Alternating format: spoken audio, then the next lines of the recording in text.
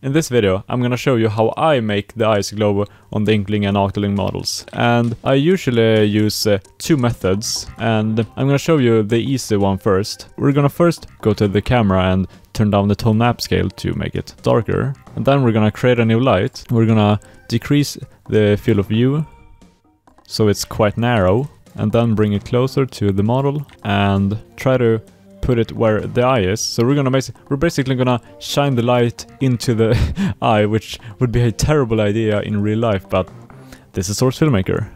So we're gonna decrease the intensity. We need to go a bit closer, up a bit, and now we can change the color to, well, let's go with green. And there you go, there you have your glow. We can, you can also go here and change the bloom scale. But if you're not going for that kind of glow, we can we can do something else, which I do most of the time. So what I usually do is let's turn up uh, the tone map scale. It's more pleasant. There we go.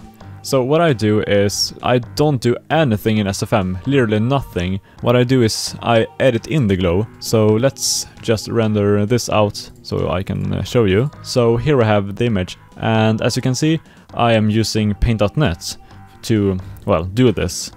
And what we need to do is I'm gonna use lasso select and I'm gonna okay it's quite it's quite low resolution now because I rendered it out in 720p but it doesn't matter. What we're gonna do is select the eye and you want to be a bit outside like like that and on the other one as well. Just hold down control so you keep your old selection. There we go. And now we're gonna hit control C to copy it, then make a new layer, and Ctrl V to paste it. Then we're gonna go to adjustments and brightness and contrast. Then we're gonna, well, up the brightness and contrast. Something like that. Now it looks quite weird, but we're not done yet. So now go to adjustments again and hue and saturation, because we lost some of its color. So bring it back like that. And now we're gonna pick the eraser and turn down the hardness and up the brush width.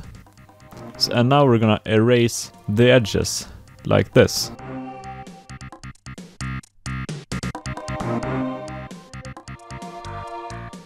There we go.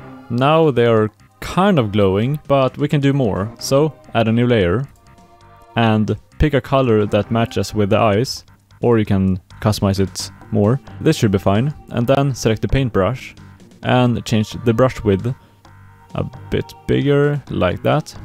And then and then just left click once on each eye like that. And then go down to properties down here and change the blend mode to additive or screen and now the eyes are glowing in a different style, I guess you could say. So that is a simple version of uh, how I do eye glow. I usually tweak it here and there and, and do a little bit more, but it's uh, often not necessary to get the glow. So that's it for the video. So thanks so much for watching and bye!